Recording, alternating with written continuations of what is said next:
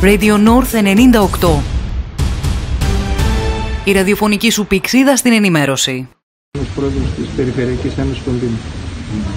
Τι τυχετεχνιακά σήμερα Τι θα ζητήσετε εσείς από τον κύριο Χαρδαλιά, ως Δήμο.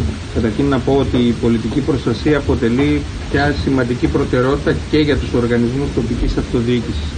Με αυτή, την, με αυτή τη λογική υποδεχόμαστε πραγματικά έναν ε, τον Γενικό Γραμματέα Πολιτικής Προστασίας και άξιο δήμαρχο για σειρά ετών, άρα ένα συνάδελφό μας. Ε, στο λίγο διάστημα που ε, λειτουργεί σε αυτή την θέση και ό,τι αφορά την αντιμετώπιση των έκτακτων καιρικών φαινομένων νομίζω ότι υπήρξε πραγματικά μια εξαιρετική επιτυχία από πλευράς του αλλά είχα την ευκαιρία να ενημερωθώ και για, το, για τις πτυχές του νέου σχεδιασμού που έχει προχωρήσει και θα υλοποιηθεί το επόμενο διάστημα.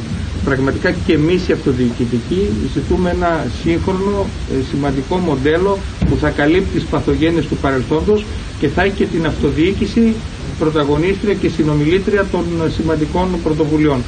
Ε, δυστυχώς με τις ε, κλιματικές αλλαγές στον κόσμο τα ζητήματα της, των έκτακτων καιρικών φαινομένων έχουν γίνει τακτικά πια άρα όλοι θα πρέπει να ενώσουμε δυνάμεις για να αντιμετωπίσουμε ε, τις ε, καταστάσεις αυτές. Εμείς σαν αυτοδιοικητικοί δηλώνουμε έτοιμοι, θα συνεργαστούμε και στο καινούριο μοντέλο, θέλουμε να είμαστε ισότιμοι συνομιλητές και να συμμετέχουμε ενεργά στο σχεδιασμό και στην υλοποίησή του. Και από αυτή την πλευρά θα στηρίξουμε κάθε πρωτοβουλία προς την κατεύθυνση αυτή. Δήμαρχε, υπήρξαν κάποιες καθυστερήσεις όσον αφορά τις αποζημιώσεις σε κάποιες περιοχές που επλήγησαν. Αυτές οι αποζημιώσεις θα δοθούν τώρα, θα πιέσει, θα πιέσει την κυβέρνηση να δοθούν. Αυτό είναι ερώτηση για τον προηγούμενο μιλητή. Ναι.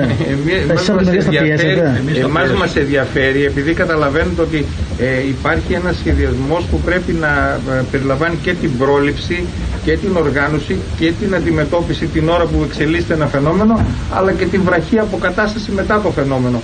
Ε, το σκέλος ερώτησης αφορά το τέταρτο βραχίωνα. Σαφώς και εμείς σαν αυτοδιοικητικοί θα πιέσουμε γιατί καταλαβαίνετε ότι είναι περιοχές που έχουν άμεση ανάγκη οικονομικής ενίσχυσης και αποκατάστασης.